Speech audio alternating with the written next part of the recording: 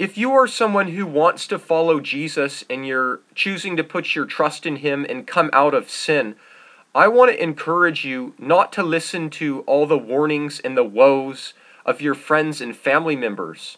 They will say things like you're going off the deep end, you're taking your faith too seriously, you're separating yourself from people, you're going to be a loner. They will start giving you all of their woes against your new lifestyle with Jesus.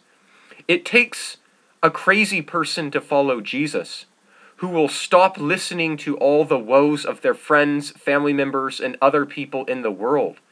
I encourage you, fix your eyes on Jesus and go forward with him, even if everyone else in the world thinks you have gone absolutely crazy. They thought Jesus was crazy, and they will also think you are crazy for following him. May the grace of Jesus be with you pursue forward, and go with the Lord no matter what other people think.